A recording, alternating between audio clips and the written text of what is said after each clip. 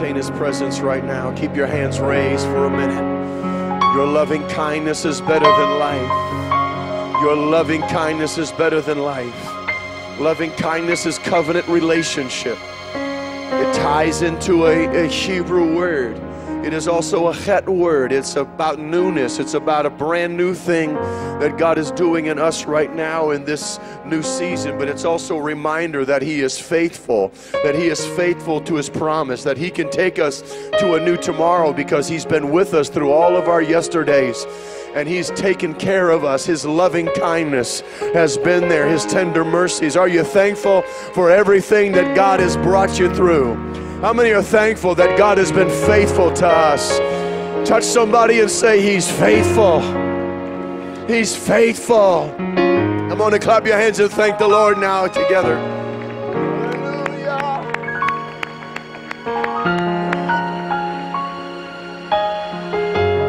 Your mercy endures forever.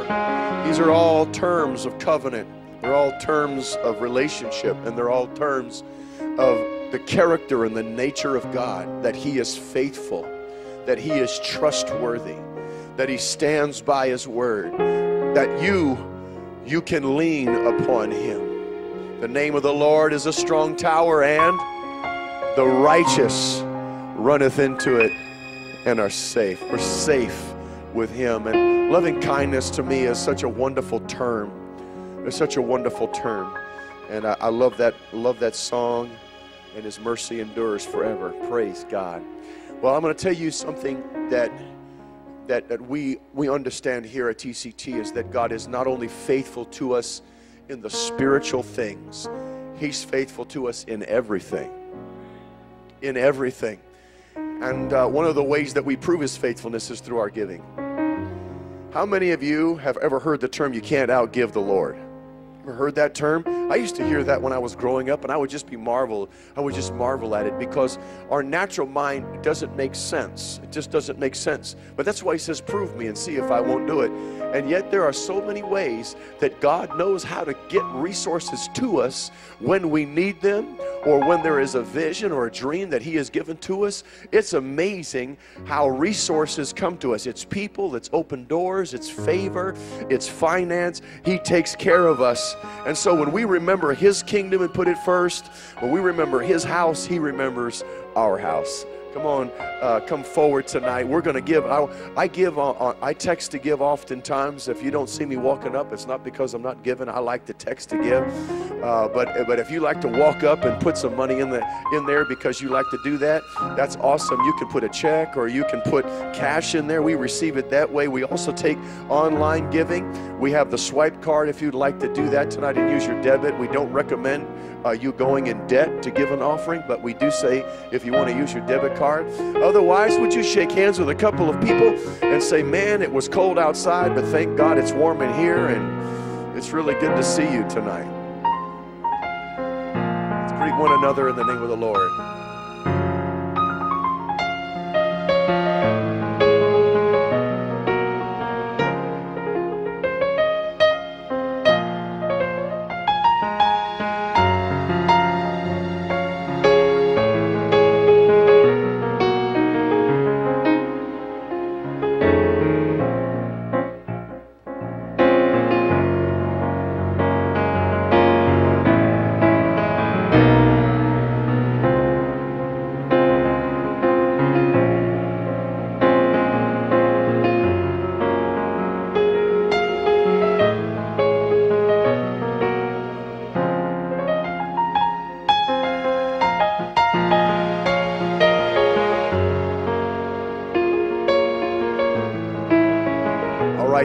Anybody uh, anybody have um, some good pictures that you took in the snow? You get some good pictures with the ice.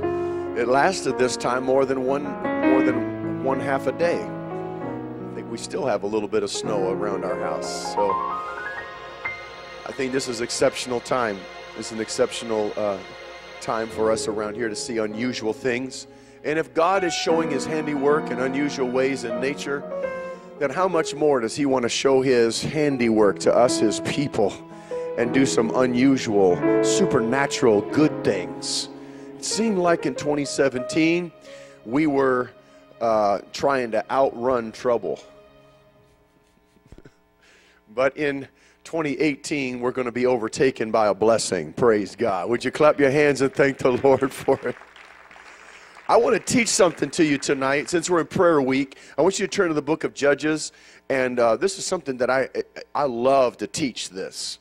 It's one of my favorite, one of my favorite things to teach uh, from the Old Testament. I got a lot of Old Testament stuff I like to teach, but this is one. This is a really fun one. But there's so many powerful truths and principles. Judges chapter number three, and since it's during prayer week, I want to give you some tools. I want to give you some tools. I want to help you to be effective. Either we love prayer or we loathe prayer based on one thing: effectiveness. Are we getting results?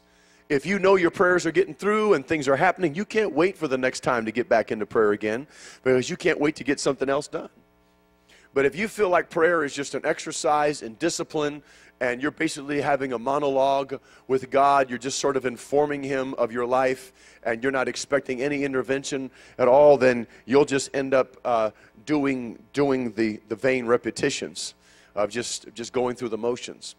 Uh, I don't believe that God wants relationship like that. I don't think that we want relationship like that. This is a dialogue with God. We are not just having a monologue. He is speaking, and, and, and we can listen to Him.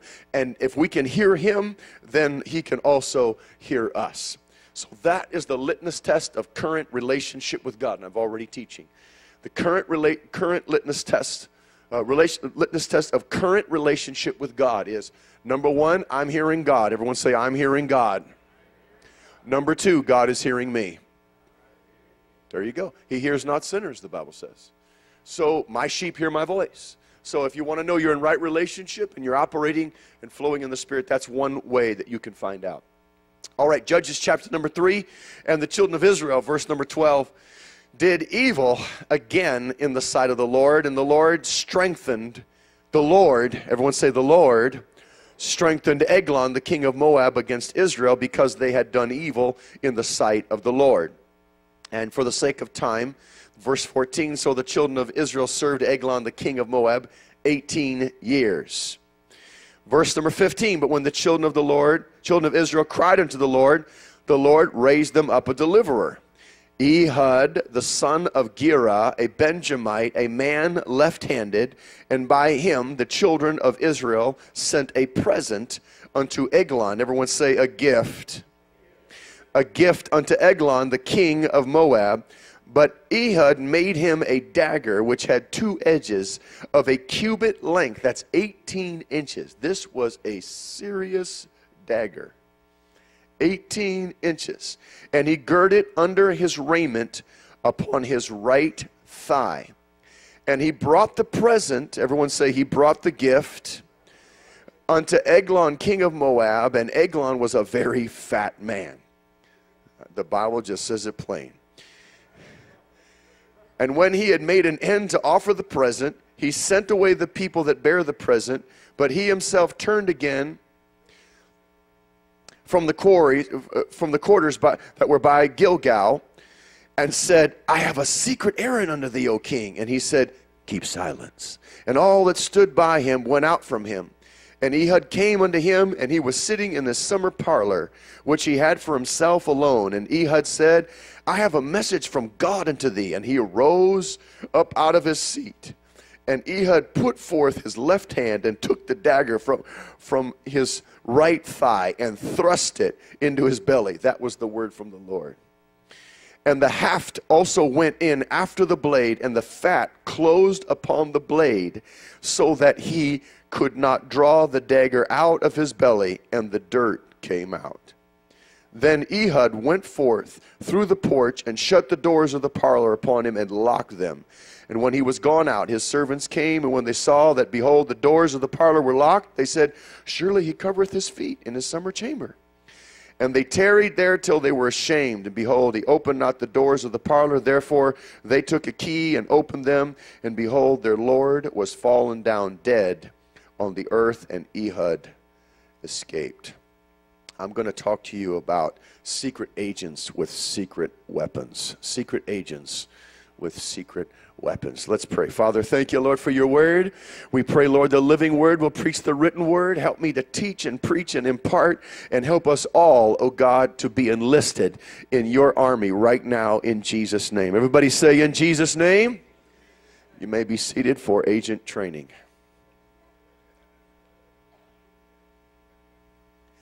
Tonight, you have been called up out of your deep reserves, and you have been enlisted to be a part of God's special forces. This is special forces training. If you come on a Thursday night in the middle of the cold after two nights of, of below freezing weather, you have serious passion for God.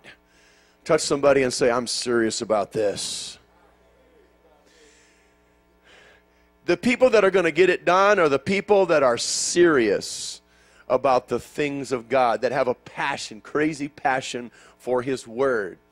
And so I want to I want to give something to you tonight that will that will help you. Now let's lay out the story. Let's tell the story, okay? And in the story we'll start extracting the truths. The Bible says that Israel did evil again. So this was a period of time where they would do well and then they would kind of regress and they would do well and then they would regress. And so what god would do is if they weren't hearing his voice and if they weren't being obedient he would send an enemy to them. He would create uh, he would create a problem in their life that would prove to them their need for god that would show them again why they should have been obedient why they should have been following god how many understand that sometimes problems come in our lives to wake us up to our need for God? How many know that sometimes that God allows things in our life because he loves us? What is he really doing? He's trying to woo them back to him. He's trying to say, "How you doing without me? You're not doing so well, are you?" Watch this. I can't protect you anymore if you're not being obedient, if you're not under my covering, if you're not submitted. You lose my protection. And so I, am just going to step back and let somebody else come. And the Bible says that that it was it was Eglon. And so what God did was give them a picture of their spiritual condition. Oftentimes, the enemy that has access to us is the enemy that is actually reflecting the weakness of our flesh. And so, for them, what would happen is they had they had gotten spiritually lazy, and they had they had uh, they had relaxed their discipline, and so they were in a sense they were in a sense uh, in a very unhealthy place. And so God sends them, and the Bible says says it very plain Eglon was a very fat man. This was a picture. He was saying, This is what you're up against right now. This is what you're dealing with right now. The first thing he did was he took the city of palm trees. Palm trees are the trees that have flex in them. Is that when the wind blows, they will flex. They can lay almost completely flat. They will not break. Uh, in a storm. That's why you'll always see in, in the pictures in Florida and down and down in the coastline of Texas, you'll see those the palm trees. There's always a, a reporter there, and it's a palm tree in the background. You know why? Because they can handle it. The rest of the trees are breaking off and they're sliding down the you know uh, sliding down the road, but the palm trees they can handle it. And so what happens is when when we when we become spiritually out of balance, when our flesh is is, is out of control what happens is we lose our ability to flow with the Spirit. We lose our flex. We lose our palm trees. We lose our strength in God. And so that's what he took, and he was, a he was inhabiting this. Now, what he did was exact tribute. So I'm going to let you live, but you're going to serve me now. You see, the reality is, if we don't serve God, we're going to serve something else. We're going to have a master in our life. Something is going to be telling us what to do. Something or someone is going to be dictating to us. And God is trying to show us if you would have stayed with me and if you would have submitted to me and if you would have been obedient to me, things would have been a whole lot better for you than how they are right now. And so it took them 18 years to figure that out. How long do we have to live with the problem before we decide we want to do something about it? 18 years, and then the Bible says they cried out to the Lord. I'm thinking to myself, the second day that, that Eglon is in charge, I'm already crying.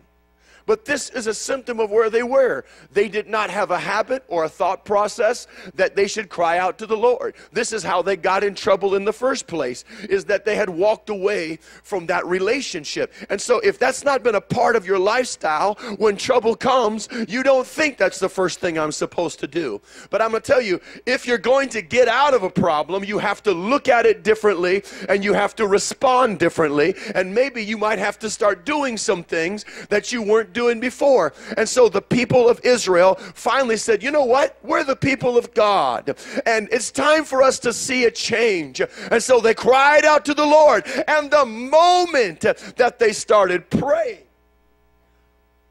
God heard them. Aren't you thankful that even when we are in a state that is that is not in right relationship, the moment we cry out and ask for help, he'll say, "Yes, I'll restore you. Yes, I'll help you. Yes, I'll bring you out." And it doesn't matter if it was a long period of time, even 18 years uh, where they were away from God and they weren't doing the right thing. God said, "Doesn't matter how long it is. If you will ask me, I will turn you around right now. If you will cry out for a deliverance, uh, I will send you deliverance right now. And I know America's not been in the best state, and I know that there are, there are parts of Pasadena that you can look at and say, that doesn't look like they're really living the way they should. But I'll tell you this the moment we cry out to God, God will hear us. And I have a feeling that the reason why we're having this special agents meeting tonight is because God is about to activate us because of some people that have already been asking for help that are reaching out and saying, you know what? I'm tired. I'm ready for a fresh start. I'm ready for something new. I'm ready to get out of this rut. It's been 18 years. Well, 2018, here we go. There's our 18 again. In 2018, God says, I'm going to do something. I'm going to turn it around. Clap your hands and thank the Lord right now.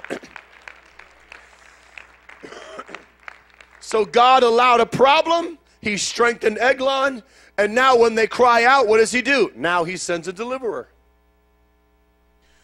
So he is never going to let you get into something that he doesn't already have an answer to help you get out of it. But he has to we have to whip that thing a certain way. Whatever it is that we are standing up against for us, it is the spirit of depression.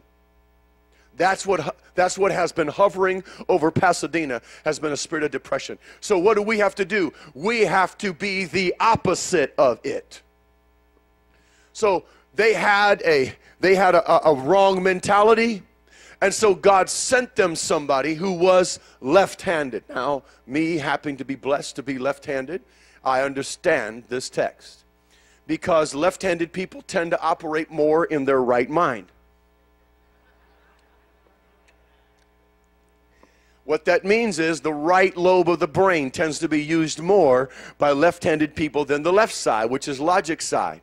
So the creative, intuitive side of the brain is the right side. And what God says is that what I'm going to do is that I'm going to send somebody that sees things from a different angle, that is in his right mind, that comes from the left side that you're not expecting, that is going to be live, that's going to be intuitive, that's going to be that's going to be quick, it's going to be sharp. In other words, he's reflecting what they lost. They lost the palm trees. But this man says, "No, I know how to flow. I know how to operate. I have understanding, I have insight, I have wisdom. You see, the Bible says that wisdom is better than weapons. That so before we go into this battle, we don't just say, Well, God has raised me up as a deliverer, and bless God, every demon that I see, every every enemy that I see, man, I'm just gonna hack away at them, you know.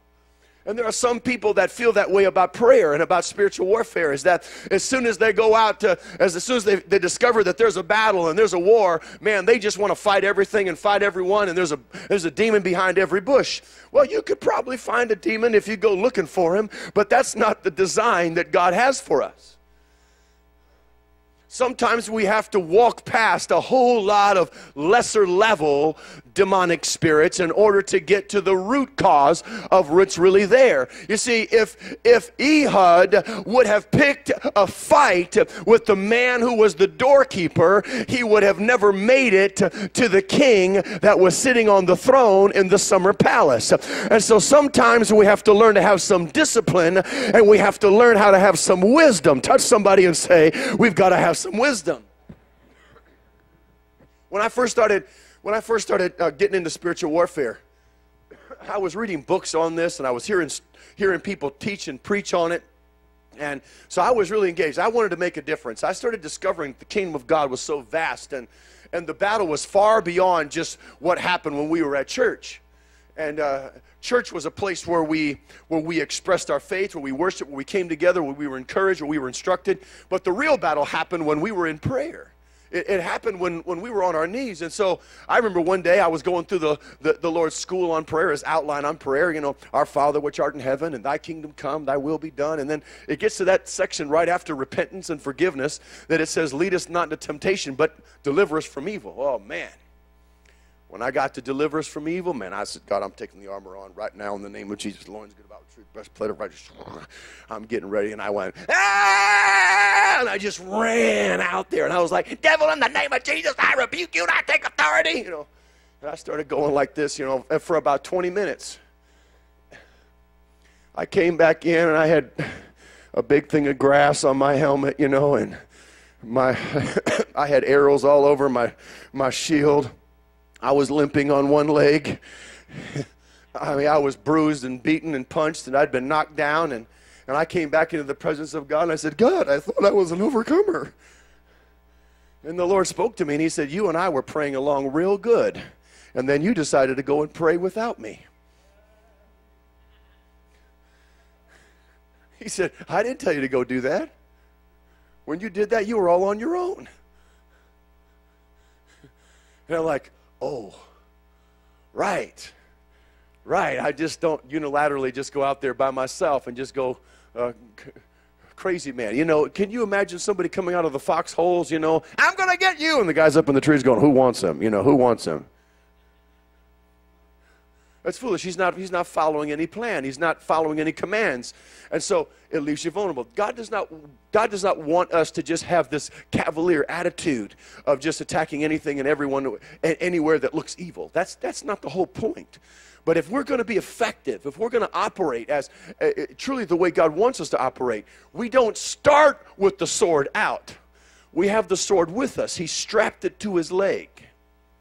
We don't start with the sword out, we start out with a gift. So he came with tribute money. It was the gift that they were supposed to bring, and that was what gave them that's what gave him access because he was the one that was in charge of delivering that package to the king. He was the representative of the people of Israel. And so when he goes in, he's strapped but he doesn't let anybody know. He conceals his weapon. And folks, this was an 18 inch dagger. This was either a really tall guy or he had that thing strapped in such a way. I mean, can you imagine? I had a, I had one out today, and that was probably close to 18 inches, and it, it, it, it would be difficult to walk. You would almost have to walk like this, you know, when you came in. I, I don't. I was trying to figure out how to do that. He must have been a tall guy. Maybe he was just really tall. But he strapped that thing on, on his leg and covered it over so that the enemy that he was coming there to, to serve couldn't see it. And so what he came with, what gave him access, was his gift. Everyone say his gift. So, what God wants us to do is He wants us to begin using our gifts. So, the gifts of the Spirit are here to give us access. They gain us the, the, the entrance point into the devil's kingdom, into behind those closed doors. It, it takes us. So I use the gifts of the Spirit as my primary. That's how I start. I'm starting. If you're gonna if you're gonna operate effectively, if you're gonna be a, a special agent in the kingdom of God, this is how it operates. You're operating in wisdom and you're operating with spiritual gifts. So, what are you doing? You are praying for insight.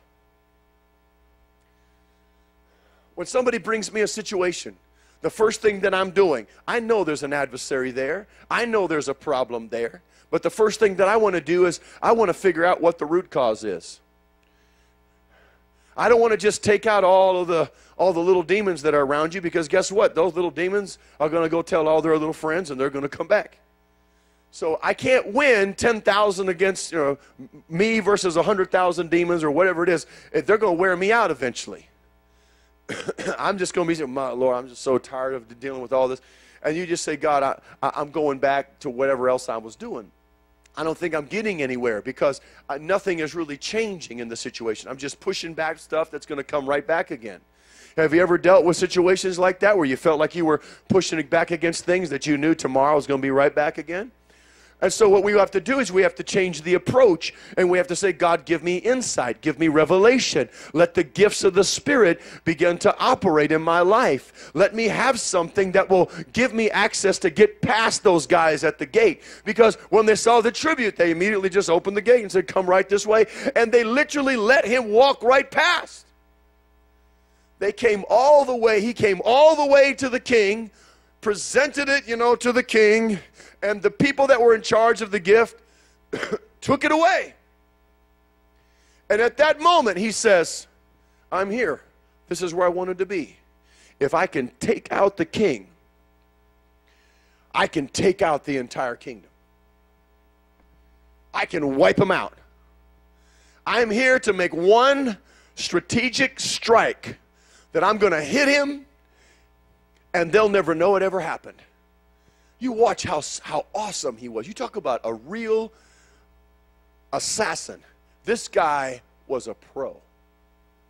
He was so awesome. It was one stroke, and he didn't even leave the evidence of the blade. The blade was stuck up inside of, of Eglon when he gave it to him. Could not take his blade out. There was nothing even in his hand for anyone to know that he had done anything. He could honestly say, I don't know what happened. You can search me. I don't have a weapon. Locked the doors and escaped out through the back. And by the time they figured out that the king was dead, Eglon was already, I mean, Ehud was already blowing a trumpet and calling for the army. Now he changes to another style. He changes to another weapon, which is a trumpet. Still, still not using primary, which is a sword. He started with a gift and then went to a trumpet. So, so this is this is strategic strikes that we want. What I want to do is I want to be able to discern what's really going on. What is at the root of what you are battling? And when God reveals that to me, that's what I'm going out. That's what I'm going to take out. We're going to hit that thing. We're going to hit it really hard. We're going to wipe it out. It's going to be five minutes, and that thing is going to be dead. That's it. Boom, because I know what it is now. I know what its roots are. I know where it came from. I know, I know what, what it is. I know what to call it. I know how to rip it out in Jesus' name. And then I'm gone. Boom, I hit it, and I'm gone. I'm on to the next thing. I am in and out of that realm. There, we do not have to spend weeks and weeks and weeks and months and months and months. We are praying to get down to the root. How did this thing get in? How did it get its hold upon a city? How did it get a hold upon the psyche? How did it get a hold upon the people that are in this congregation? How did it get a hold on us? How does it act on me? How does it act on you? When it comes, what do you feel when it happens? And then what should our response be? Our response is not always to go, ah, in the name of Jesus. Our response is, give me wisdom, God. Give me revelation, God. Let me understand, Lord. Help me to see, oh, what is this doing? Oh, I'm just, thank you, Lord. Thank, okay, so what's my response supposed to be? Okay, thank you, Lord. Okay, wh- what verse should I use? Okay, wh- wh- what is underneath the garment right now? what is the word that I'm carrying with me right now? He called it a word from God. He said, I got a word from God. My sword is my word from God. My word from God is it's time for you to go. I have dominion, I have authority. Hallelujah. So, this is what I want you to do right now. I want you to ask God that spiritual gifts will begin to flow in your life right now. I want you to ask God that, that He will begin to speak to you, that He will begin to give insight to you, that He'll begin to give understanding to you. That you can say, okay, Lord, help me to help me to use this Help me to use this Holy Spirit that you've given to me to activate your word at the appropriate time, at the right time. Lift your hands to the Lord right now. Would you do it?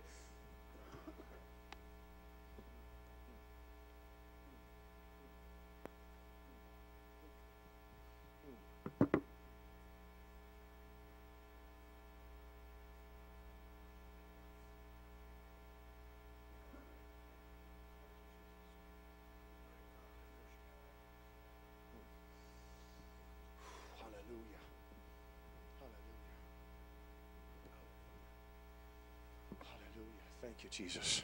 Thank you, Jesus. So it's a, it's a different way of praying. I understand. It's a different thought process. But I'm trying to introduce I'm trying to introduce something to you that you're you're praying and you're listening. You're praying and you're listening. There's been a lot of times when what I will do, and maybe I can walk you through it and make it make it something that will that will be simple to you. So what I do instead of praying around something, I pray through something. You've heard me use these terms before. Talk about praying through. What does that mean? That means layer by layer, I look at it and I talk about it in the presence of God. I dismantle it. I take it apart. And I say, okay, what's really here? Well, I feel this emotion. Uh, what's that emotion connected to? It's connected to this over here. What? Why is it connected to this? What is that? And then sometimes I'm just praying about that right there. Okay, God, I have this emotion, but why is that emotion there? How come I feel that way? I've asked God that question lots of times, and then that's when I would get a response. I would get understanding. He would enlighten. Uh, oh, okay. So that's why that happens. Let, let me, let me give you a, a practical example when I would when I was a young minister and I first started operating in spiritual gifts, people didn't know what to do with spiritual gifts. Especially uh, back in those days, that was still a new thing. It's uh, it's, it's, a lot more gained a lot more acceptance in, in the uh, late 80s and early 90s than it did maybe in the 60s when my dad was starting. But there was still a lot of apprehension. There's some apprehension now, but there's a whole lot more openness to spiritual gifts now, probably than there has ever been. And, uh, but, but when I started off as a youth minister and they'd ask me to come and do a youth rally and I turned it into a healing service, uh, sometimes they would, they would not know what to do with me. And so I just, everywhere I would go, I, would, I was trying to pray for the sick. I was trying to help people. I was trying to minister in the gifts.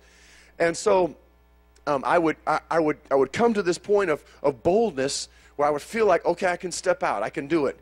I'm, I'm going to try. I'm going to I'm going to take the risk to just follow God and, and step out and do this. And, and, and man, when you use the word of knowledge, you can't make a mistake. If you make a mistake, that service is over. So if I read something wrong, uh, you know, I, it, it's going it's gonna damage a lot of people's faith, and it may affect my, my ability to, to have integrity with people and lead them if I miss if I miss it. But if I'm if I'm right and it's God and they do get healed, then that is the potential for a massive surge of faith and a great breakthrough. And so it is a spiritual rush every single time that you step out in faith and you tell something that you know that you don't know except by the Spirit, and it turns out to be right. And so I remember one night I had a preacher that was there, and he was really there to tell people that the gifts didn't, didn't operate and that I was, uh, I was a fake. And so I was walking the platform, and I said, God, what should I do? He said, call him out. And I said, Oh, okay. So I walked down the aisle and I said, Sir, you're a minister, you're a pastor that's here. He goes, Yes. I said, You just came to, to be a part of the revival. And I said, I know you got a few questions. I said, That's okay. I said, But you also have problems in your knees. And he looks at me and he says, I said, Is that right? He goes, Yes, that's right. I said, If you'll step out in the aisle right now, the Lord's going to heal you. And I prayed for him. I said, Now bend your knees right now. And the dude bent his knees. He's like, Whoa, my legs, my legs. He started going like, Whoa, my God. He looked at his wife. She's just like, My God. After the service, he goes, Would, would you come to our church? I thought, Man, five minutes ago you hated me, you know? And it was because they didn't understand. That's all. They'd never seen it before. And so this was some of the things I would do. But and after you operate like that, and after you minister to, to people like that, there would be a retaliation that would always come. There would be some kind of a spiritual retaliation that would come. And sometimes it would just be a simple word. I would, it's like when you open up faith like that, uh, it, it, it is so much uh, beyond where you are that, that at that point of my life, at that season of my life, I was pretty fragile still in my own identity. And so I, I, I didn't know what people were really thinking about me. And I had to die to whether it mattered at all. I had to be willing to just say, I'm going to do the will of God, regardless of whether people like me or don't like me. But, you know, I think most of us, if we have to choose between being liked or not being liked, we will choose being liked. How many, how many would rather be liked? Anybody here would rather be liked? and so that is a vulnerability. And so then somebody would come to me and say, sort of in hushed tones, you know, Brother Sciscoe, there were some people in the back that really were saying some negative things and didn't know what to think about. And, uh, and then they would say, you know, that one guy that you prayed for, you told him he had back problems. He also had, and you missed it. You didn't see that he also had a gallstones. And I'd be like, oh my goodness, I missed something. I didn't see that. Well, how come God, how come I couldn't see that? And I, he also had an ulcer, you know, like, oh oh goodness, know, God, you know. And I would go back and I would hit the floor in my room and I'd cry and I would say, Oh God, oh God, I'm so sorry. I'm, I want to be a better servant. I want to be a better minister. I want to help people. I, I was just trying to do your will, God. I was just trying to do your will, God. And then I would just be beat up for a while. I wouldn't even attempt to operate. I'd go a couple of weeks sometimes. Preach revival, hardly ever. Wouldn't even let anybody know, wouldn't tell them any stories, would say nothing. I just preached the word, and, and I was hope that the gifts would start operating again at some point. But I didn't know. I really thought that what was hitting me, I really thought that that was somehow God in his correction. And what it was, it was a retaliation from hell that was masquerading as someone who meant well, that was trying to help me, but actually was a deceptive voice of the adversary trying to destroy my confidence. And so, long story, just a little bit longer, I was trying to process this. I was trying to fight against it, but I was trying to process it. What is this? And so I would, I would finally work my way through it. I would try to to, I would overcome. God would give me strength back in my spirit. And I would say, you know what? I, I know that God's called me to do this. I know that the gifts and callings of God are without repentance. And I would get back up the courage again. I'd go out, man, there, the gifts would start operating again. It would be amazing. Things would happen. And I, man, I would be, I'd be flying high again. Man, it's all. And then, oh no, here they come. I, I would just start bracing myself after the service. Here, here they come and there'd be that one person, that one or two well meaning person. And it's usually someone who has some kind of credibility. Uh, and they're coming to tell you, oh my goodness, it would hurt so bad. And I remember one day I, I had a revival like this, and, and I literally laid on the floor and I said, God, please make me David Bernard. Please make me David Bernard. Everybody loves his books, and he's an awesome teacher. And just Make me normal like some of these other guys. God, why did I have to have all these gifts? And the Lord spoke to me and said, You asked me for these gifts, and I gave them to you, and I'm not going to take them away. He goes, Now go out there and use them. And I'm like, God, but this keeps happening. He said, You need to operate in love, study love. And so I stopped everything I started just studying the love of God, studying the love of God, studying the love of God, so I could understand what was happening with people, so I could connect with people better, so I could I could grow in my own spiritual life and my own maturity, and so that I would be secure in God, regardless of what people said. And then I remember after some of these revelations about God's love and security, I went to preach for Jeff Arnold, 1991, and he got off the plane he had just preached a powerful message because of the times. And he got a lot of feedback, a lot of flack for it. He was talking about grace. And I was there and I loved it. I thought it was awesome. I thought it was a word from God. And he was pretty much flying high. But then what I didn't realize is that when I went to that city where he was, I was tying into the same battle that he was tying into. Is that I was fighting the same spirit that was also fighting him. I had not done anything. All I did was have a conversation with him and go to my hotel room. I had not operated. I didn't try to say anything from God to him. I had not tried to operate any gifts.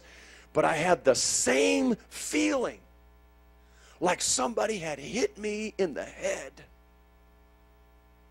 And for the first time, instead of crying and going, Oh God, I'm so sorry, please help me to be a better man of God, I stopped and I went, Wait a minute. I don't think God operates that way. That's not how God works. What did I do to deserve that? Where did that come from? What happened? And I stopped at, right there and I said, I just stopped and said, God, what was that?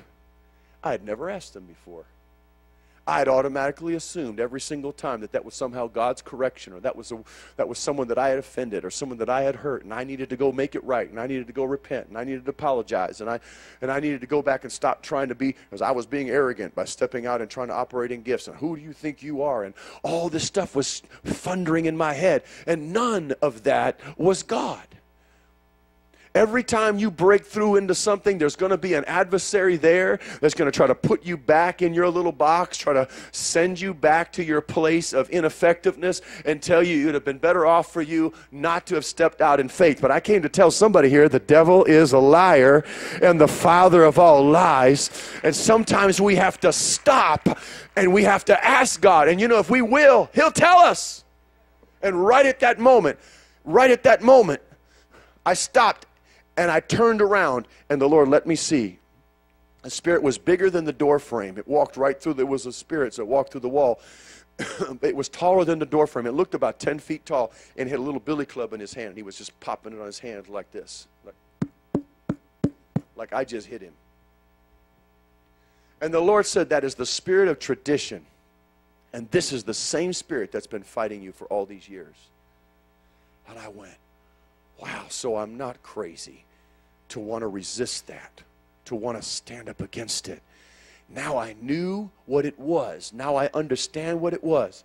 And I said, In the name of Jesus Christ, I am not going to be intimidated.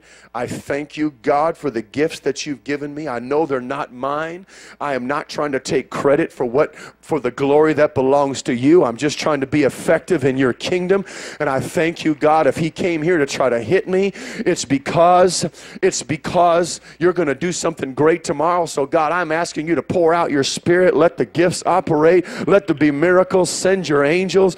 God, do a work. And then all of a sudden he said, No, it's not just you, it's the pastor. I want you to pray for him right now. And I started praying, Oh God, now I understand. It's not all about me, it's about the people here, it's about the movement. And then all of a sudden I realized how many other people is this same spirit hitting? And then, oh, it just keeps boom, boom, boom, revelation, revelation, revelation, revelation, revelation. And then God starts giving me scriptures and he starts un- unwrapping this whole spirit and how it operates. And then a month later, God sends two angels to me and says, These two angels break tradition in the church to hinder, that tries to hinder the move of God. And this is how they operate. I want you to send these two angels into the church. And I watched those angels begin to operate in my ministry. And I began to watch my life begin to change as I began to break that. But I, and before I ever got to the blow of spiritual authority of taking dominion, I had to have enough insight and I had to have enough gifts and I had to have enough, I had to have enough word from God to be able to help me to understand what it is that I'm trying to take out. If you don't know the specific thing that you're trying to take out, you are not going to get results. General prayers get general results, specific prayers get specific results. So when we start operating like this, I'm going to tell you, you talk about you talk about being powerful, you talk about a church that can change things, you talk about intercessors that know how to get stuff done. What I'm telling you secret agents tonight is that when you are when you are authorized, when you get your badge, when God sends you out to do this, when we leave these these doors tonight and you say, "You know what? I just got a training. I just got developed. God just did something. Something just made sense." The next time you get in the spirit and the next time you get in intercession and the next time somebody says, I need you to pray about this, instead of just going, Oh God, in Jesus' name, I pray against that problem right now. Jesus, you're going to stop and go, Lord, help me to understand. How should I view this? What's happening here? What's going on here? What? And, and it may be something entirely different than what they just told you. It may be that they think that's the problem, but it's something else. And God will cause you to use that gift to get past all of the other distractions to find out what the root is uh, so that you can have a strategic prayer, that you can pray one effectual, fervent prayer of a righteous man or woman is going to avail much uh, and take out the enemy. Hallelujah. Hallelujah. Hallelujah. Hallelujah. Am I helping anybody tonight? Is this making sense for anybody tonight? So God taught me this principle many, many years ago. He taught me this principle, and it's something that I have used ever since about concealing your weapon in the beginning. Not making your default warfare is that we get to the warfare, but I wait. I wait to get to the warfare until I know exactly what I'm supposed to do and how I'm supposed to take it out. The prayers that I'm supposed to pray. Because I believe that if I'm praying the way I'm supposed to pray, Jesus didn't wrestle with demons for very long. He just said, Come out of him, thou dumb and deaf spirit. Now, we see that the disciples wrestled with that thing all afternoon because they didn't have a clue. They didn't ask any questions. What did Jesus do in Mark chapter 9? He walks up and the guy says, Oh, Jesus, I brought my, my, my demon possessed boy to your disciples. they couldn't cast him out. He throws him in the fire, he throws him in the water. And if you can do anything, have compassion. And Jesus stops and says, Wait a minute. I'm not going to talk to the boy, I want to talk to the dad. When did this happen? Well, when he was a child. Oh, so it's not the problem in the boy because the dad is the one that's the spiritual covering over the over the child when he's a boy. So that means it was a problem in the dad that let the spirit into the boy. The boy would have never had the demon if the dad was in right relationship. So okay, so the problem is if you can believe all things are possible to him that believeth. He goes right to the faith of the father. He doesn't he doesn't even speak to the demon possessed boy. Does not even look at him. What's he doing? He starts with his gift. He starts by asking questions. Does that make sense? And so, so he says, Oh, I believe, help thou my unbelief. There it is. He admits it, he confesses it, and he says, I have unbelief. I've been wrestling with unbelief. And he says, Okay, we'll deal with the unbelief in you, and the demon will go out of your boy. As soon as the man repents of his unbelief, he then turns and says, Thou dumb and deaf spirit. He knew exactly. How did he know? By the Spirit. Thou dumb and deaf spirit, come out of him and enter no more into him. And he rents him sore and he goes out. And everyone looks at him and goes, Wow, that was amazing. And, and the disciples say, Man, we tried all afternoon to do that and we couldn't get anywhere. We couldn't break through any of that. That's because you started with your default by just running into the battle screaming at the demon. Here's a demon possessed boy. Would you, would you pray for him? In the name of Jesus! In the name of Jesus! Come out of him! Come out of him! And he's just going, ah. And I think sometimes in our zeal, that's kind of what we do. You know, we just think that if we yell, it's going to make the devil want to run, you know? But, but I, I want to have understanding. I want to have revelation. I want to speak with authority. I want to speak with confidence. I want God to show me what's really going on in this situation that will help me. Uh, Brother Barnes tells a story, and I'll, and I'll close with this. Brother Barnes tells a story that uh, in Louisiana camp, he used to be the principal of, youth, of, of, the Louisiana youth camp for years and years and years and years. He was the principal. I thought that was really cool, you know, that Brother Barnes was the, was the camp principal, you know. But he wanted to be with the young people, so he wanted to pray over them and see them and – so one night there was a girl flopping around acting like she was demon possessed. Everybody thought she was demon possessed. Man, they were shaking her and they were rebuking the devil. And man, they were just, man, she was just, it wouldn't go out. Didn't seem nothing would change. She was still violently doing all this stuff. And, and finally they, they sheepishly came to Brother Barnes and said, you know, we've been trying to cast the devil out of this girl for a long time. Can you help us? And he walked in like this. And he told me the story himself. He said he walked in there and he went, went down and whispered in her ear if you don't stop doing that, you're going to really get a demon. She didn't even have a demon.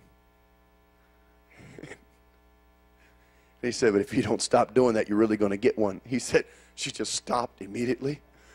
She sat up and went and sat on the pew. And everyone went, Wow, man, Brother Barnes just whispered in her ear and the demon left.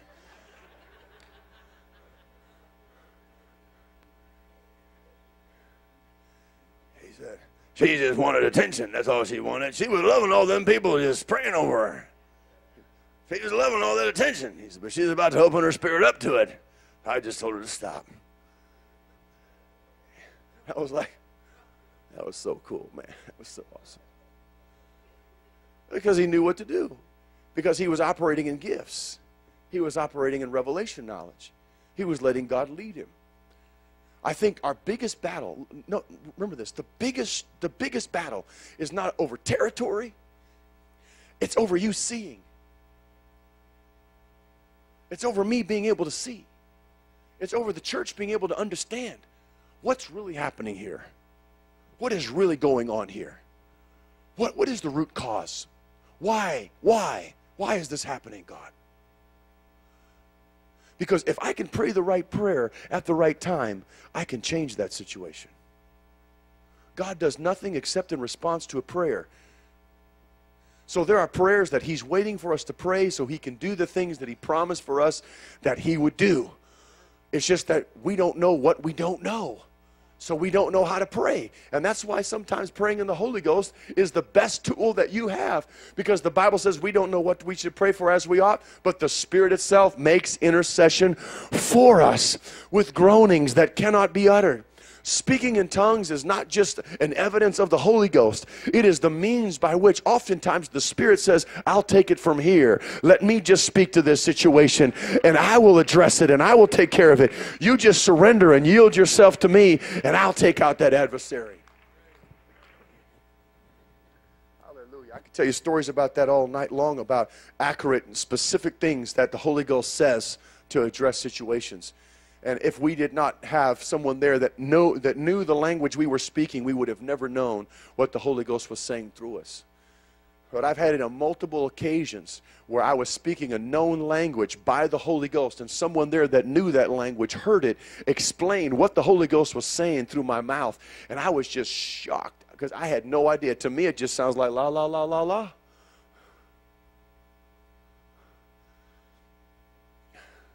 You heard me talk about the story in Kansas City where the, the three ladies speaking Arabic and, and the Holy Ghost said through me in Arabic or Aramaic, it said, Hello, God, this is Debbie, and she has three problems. This is her first problem, this is her second problem, this is her third problem. Take care of them, Lord. Thank you. I just thought I was speaking it. Ah, la, la, la, la. That's what it sounds like to me. La, la, la, la, la. Lady sitting back there, we didn't know you knew Arabic. And the Lord says to me, Aramaic. I says, no, it was Aramaic, just like that. I said, but it's by the Holy Ghost. They text me back later. Yes, it was Aramaic. There was a few words. We wrote them down. We looked in our dictionary. Do you know what you said? This is what you said. And I thought, isn't that amazing? God knew the three problems that she came up there. She wouldn't tell me it was wrong. She said, just pray over me. I'm like, okay, I'll just pray in the Holy Ghost. I prayed in the Holy Ghost. God said, here's the three problems. Take care of them. I was like, wow, every single time we pray in the Spirit, that's what's going on. That's what's happening.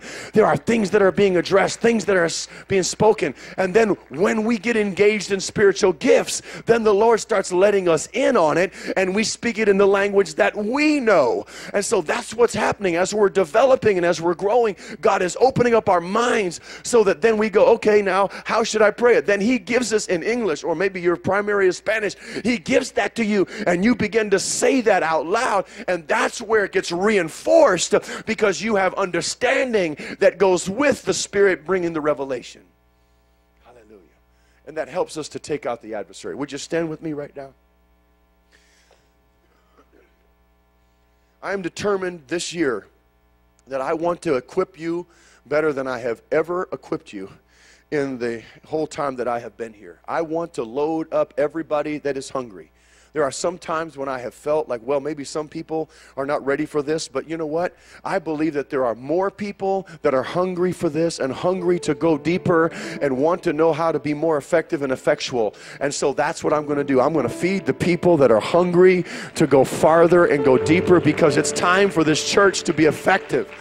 I don't want to just come and take up time and space. I want to know that we're getting something done every single time we're together and every single time you're in prayer. I don't want you to be frustrated. I want you to say, Pastor, it happened again. I was praying, and just like you were talking about, God started giving me insight as to what I would say, and I started praying this way, and then God redirected me over here. And then you know what? I went and called them and talked to them, and that was exactly what was going on. Hallelujah.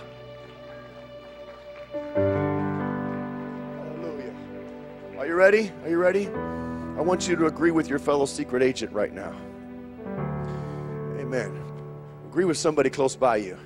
I want us to pray that the spiritual gifts, the nine gifts of the Spirit, will operate in our prayer lives. Would you do that? Would you pray that? Father, I'm asking you in the name of Jesus that spiritual gifts will begin to operate in our prayer life. God, that you will begin to speak to us when we get up in the morning let us get impressions, oh God, when we go about our business. When we're riding down the road in the car, impress us with things to pray. God, direct our thoughts. Oh God, open up our understanding. Let the word of wisdom flow through us. Let the word of knowledge flow through us. Let the discerning of spirits begin to flow through us. God, I'm asking you in Jesus' name, activate the prophetic word and put it in our mouth. Oh God, diverse kinds of tongues. Let us speak in the Spirit. Let us pray in tongues. Let us pray building up ourselves in the most holy faith. Your word says that there is a spiritual, there is a spiritual gift of tongues. Oh God, and that's for the edification of the body. And that also means it's for the edification of the believer. So God, I pray that you let the Holy Spirit in us, oh God, let it stir up the gift that is within us and then give us interpretation. Help us to understand what the Spirit is saying through us and to us.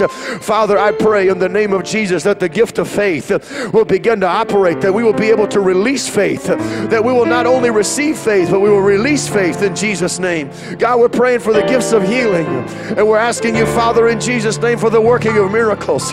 God, that there will be supernatural acts of God that defy the laws of nature. Let the spiritual gifts, the nine spiritual gifts, let them be released into the body. Let them be released, oh God, into our prayer life. Let them be released into our home group meetings. Let them be in decency and let them be in order. Let them not be outside of alignment. But God, I pray that it would be an expression of our alignment. In Jesus' name, give us insight so that we can be more effective in the Spirit. In Jesus' name. Everybody say, In Jesus' name. Said one more time. In Jesus' name. Hallelujah. Now go ahead and clap your hands. Everybody clap your hands to the Lord.